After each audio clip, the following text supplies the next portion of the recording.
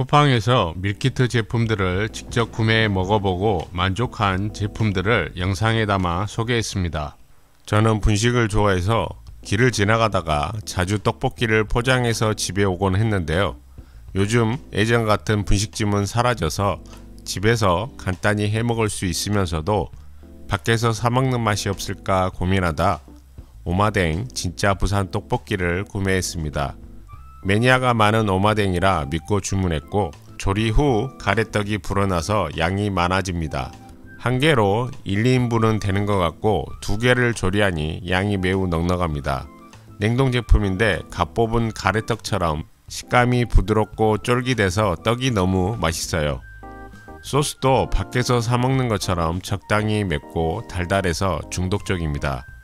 맛도 좋고 가격도 저렴해서 두 번에 나눠 먹기도 편해서 추천합니다. 야식으로 즐겨 먹는 풀어준 원팩 마라탕 매운맛과 올반 찹쌀 꼬바로우를 소개해 드릴게요. 마라탕을 참 좋아하는데요.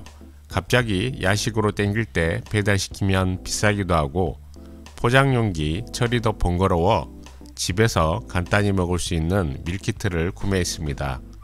밀키트에는 소고기, 배추, 청경채, 분모자, 납작당면이랑 옥수수 면도 포함되어 있습니다.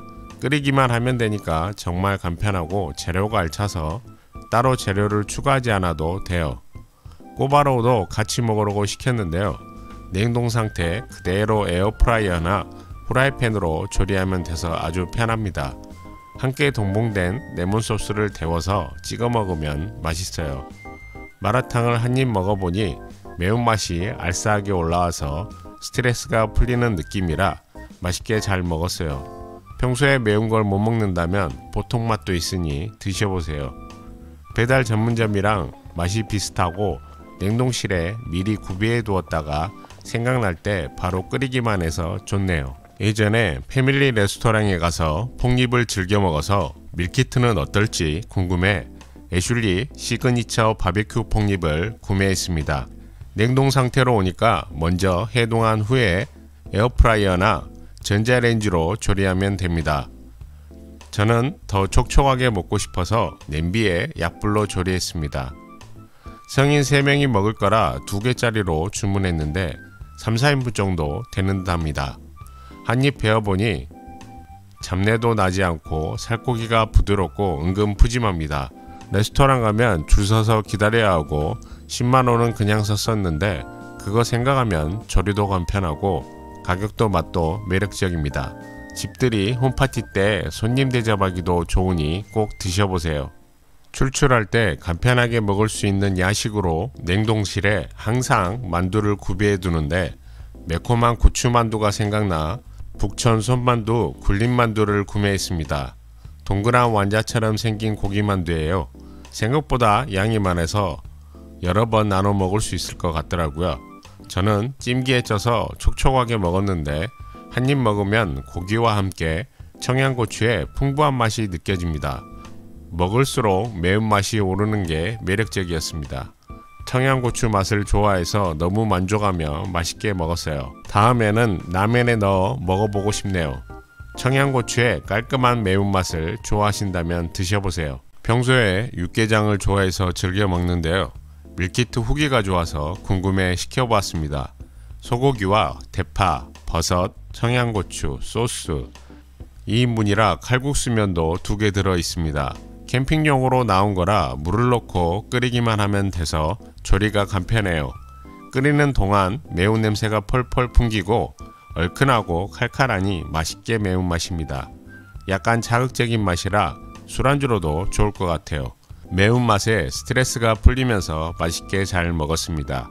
캠핑 때뿐만 아니라 냉동실에 쟁여두고 반찬이 마땅하지 않을 때 입맛 없을 때나 비 올 때 안주로도 끓여 먹기 딱이네요. 피자를 배달시켜 먹자니 배달비가 은근 아깝다고 생각돼서 트리플 피자를 구매해 봤습니다. 세 가지 치즈가 도우 위에 뿌려져 있고요. 오븐을 사용해 피자를 조리해 주었습니다. 제품에 치즈를 추가해 넣지 않아도 치즈가 쭉 늘어나고 세 가지 다양한 치즈의 풍부한 맛과 두툼한 도우가 쫄깃해서 끝까지 다 먹었습니다. 간식으로도 좋고 맥주 안주로도 좋은 것 같습니다. 부드러운 닭고기에 매콤하면서 달큼한 양념이 생각나 닭갈비를 구매했습니다. 야채는 따로 들어있지 않고 오직 닭과 양념으로 꽉 차 있는 제품입니다. 닭갈비만 먹기엔 부족함이 있어 당근, 양파, 버섯, 양배추를 추가로 넣어 볶아줬습니다.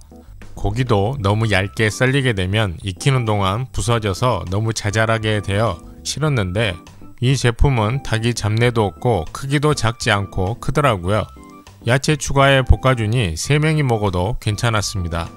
양념도 넉넉하고 적당히 자극적이고 매콤하고 달달해서 제 입맛에 딱이었어요. 식어서 먹어도 괜찮았고요. 손님 대접할 때나 캠핑용 음식으로 추천하는 제품입니다. 분식 중에서 특히 김밥을 좋아하는데 보통 사 먹거나 배달시켜 먹으면 너무 비싸더라고요.